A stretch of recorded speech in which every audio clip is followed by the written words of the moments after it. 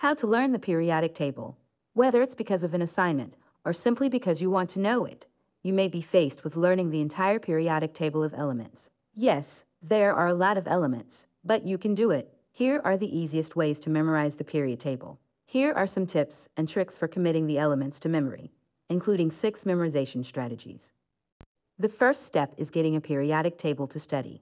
The table is updated occasionally, and the International Union of Pure and Applied Chemistry has the most current tables. You can refer to online interactive, clickable tables or find free printable tables, including blank ones, which are useful for practicing. Yes, you could just memorize the order of the elements, but if you learn the table by actually writing it out, you'll gain an appreciation for the trends in element properties, which is really what the periodic table is all about.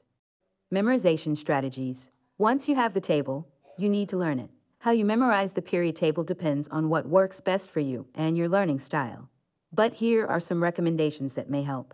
Break down the table into sections. You could memorize element groups like different color groups, go one row at a time, or memorize in sets of 20 elements. It may be helpful to view an ordered list of the elements. Rather than attempting to memorize all of the elements at once, learn one group at a time.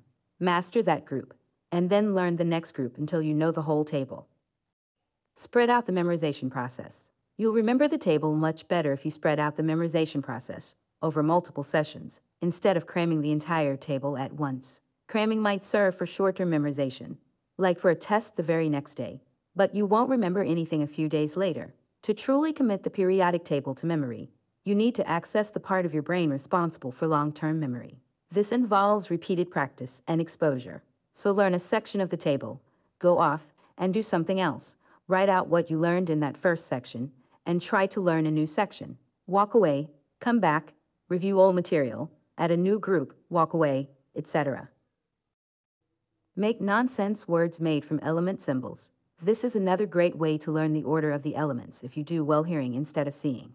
For the first 20 elements, for example, you might use the chain of H, H, E, L, I, B, E, B, Helibeb, and C, N, O, F, N, E, or N, A, M, G, A, I, S, I, Namgasi, and P, S, C, I, A, R, K, C, A, make up your own pronunciations and practice filling in a blank table with the symbols.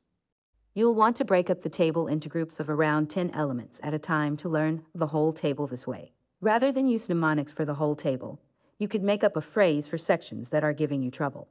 Practice makes perfect. Print multiple copies of the blank periodic table to practice filling in the symbols or names of the elements. It's easiest to learn the element symbols that go with the names, write in the symbols, and then add the names. Start small, with one or two rows or columns at a time.